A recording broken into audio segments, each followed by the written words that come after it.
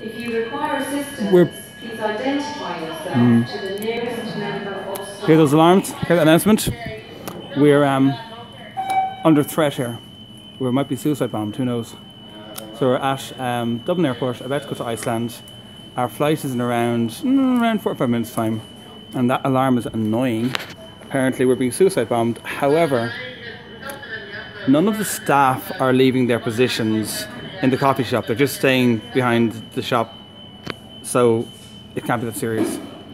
Pay attention to passengers travelling on our flight WW853 traffic. Anyway,